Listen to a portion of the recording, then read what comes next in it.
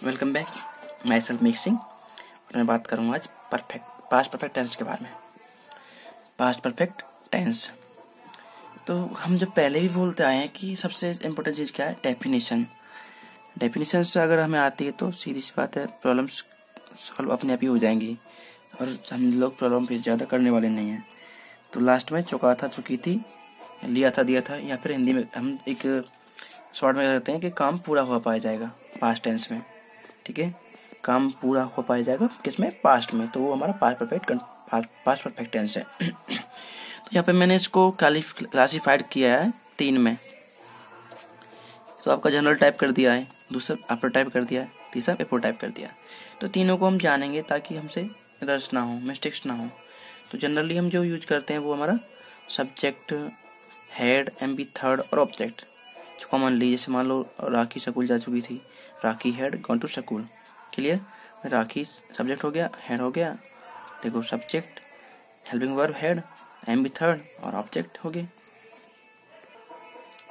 Negative में हम लोग नोट लगा देंगे हेड के बाद। सब्जेक्ट हेड नोट और एम बी थर्ड ऑब्जेक्ट वे स्कूल नहीं जा चुके थे। They had not gone to school interrogative में हम लोग क्या करेंगे? डबल एच वर्ड के बाद हेड आएगा, फिर सब्जेक्ट फिर not M B third object फिर क्वेश्चन हमारे ज़रूरी है। वे स्कूल क्यों नहीं जा चुके थे? Why had they not gone to school clear ये तो आपका कॉमन टाइप हो गया है। हम बात करेंगे सेकेंड वन की, कि हमारा क्या है? आफ्टर टाइप है। आफ्टर का नहीं करके हम पहले करेंगे बिफोर का। बिफोर का थोड़ा सा इजी है, ताकि फिर उसमें जो हमारा आफ्टर टाइप है, वो समझ में आ जाए। तो पहले देखते हैं बिफोर टाइप को। बात करते हैं बिफोर टाइप की। कुछ नहीं है। कॉमन टाइप के समान है। थोड़ा सा अंतर है। पहले बिफोर आएगा। ठीक है? हिंदी में पहले आएगा, इंग्लिश में बिफोर आएगा। और दो सेंटेंस होंगे, वो जुड़े हुए होंगे।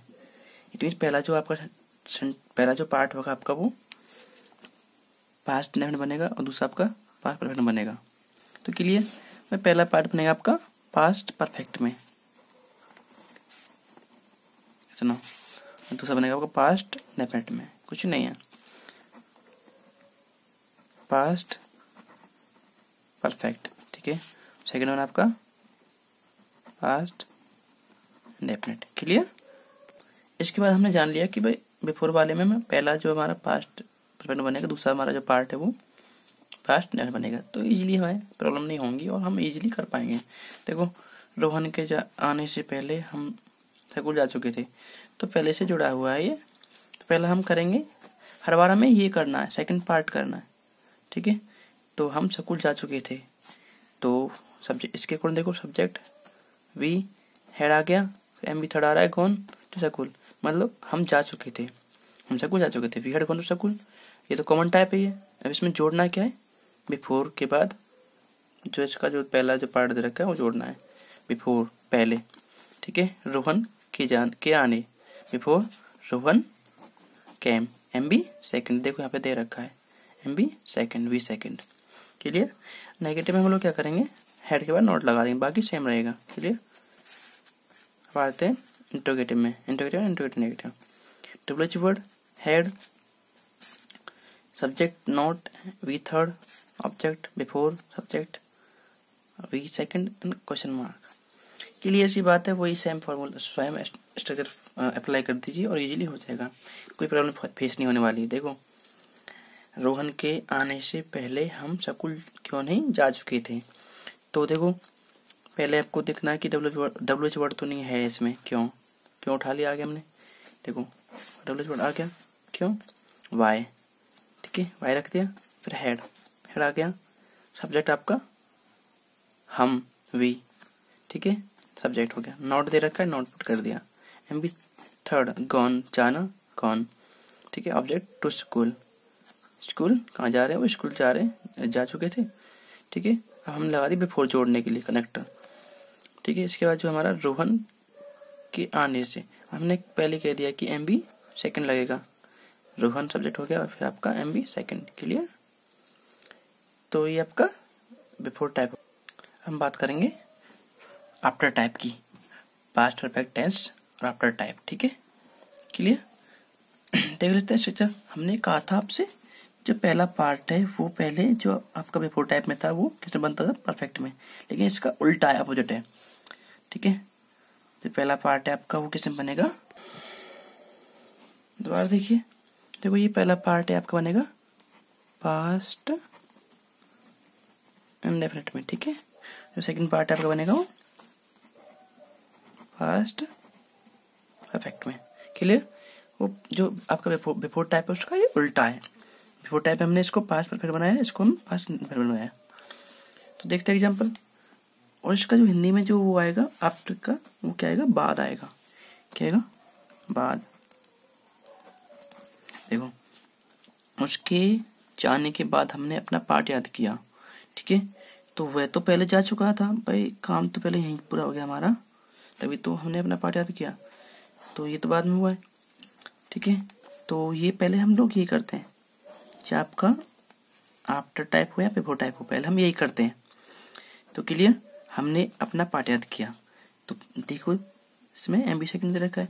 We learn our lesson after से जोड़ दिया। He had gone clear